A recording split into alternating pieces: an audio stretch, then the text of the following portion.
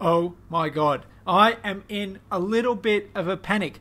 What would you do if someone came to you and said, Hey, can you please cut this photograph out and make sure you get all of the hair deep etched out properly because we need to put this character on a new background? Well, you know what I would do? I would panic. Ah! Ah! Help me! I can't do it. I don't know how to do it. Do I have the tools to do it? I can't just use the magic wand on this one. No, sir. No, madam. You cannot. You have got to use Photoshop CS5 and the brand new complex selection tools in here. Let's see how to do it. Well, first of all, let's get off to a cracking start.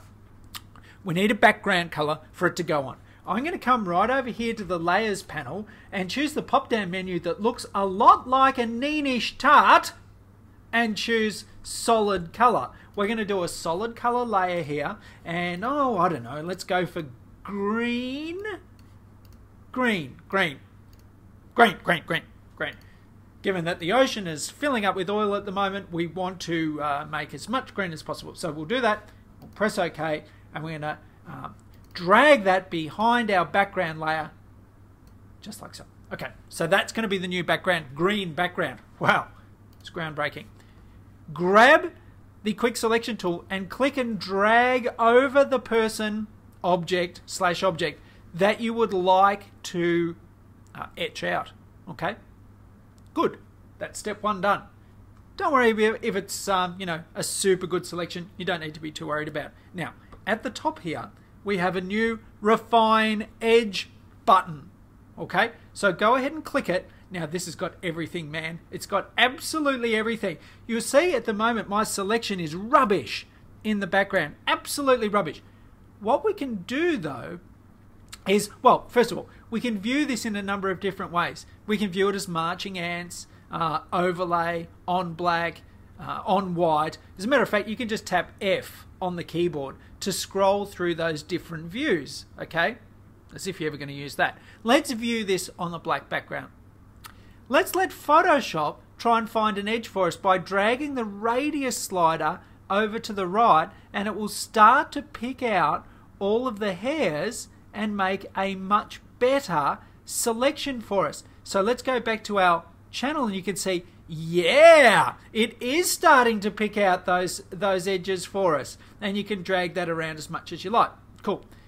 There's a little few daggy bits in there.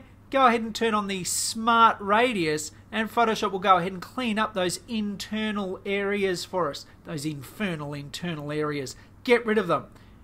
Keep expanding that out until you, you kind of think that's cool. Um, now, I'm worried about something. I'm worried about this area down here.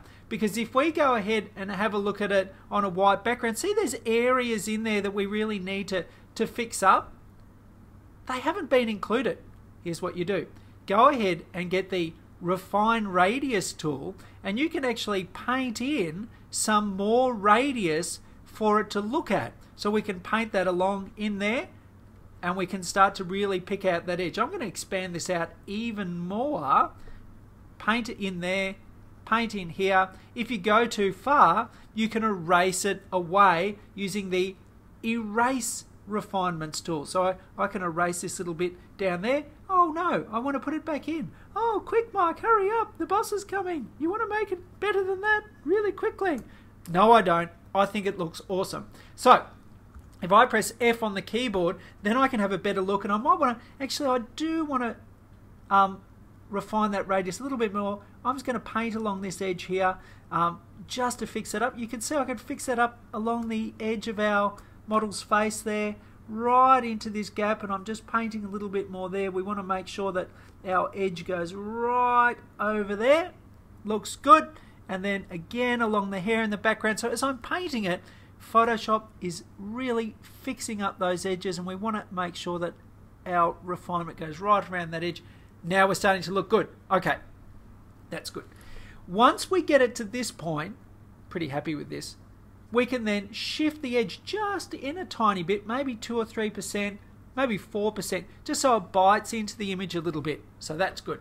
And then the last thing that we can do over here is decontaminate uh, the edges if we need to. So decontaminating the edges will actually if there's a little tint around the outside, you see there's a tint of white, we can then decontaminate the edges. I'm going to bring that up and you'll see down here in particular that that edge is now blending into the background way, way better. And I'm just going to refine this edge over here a little bit more to fix that up.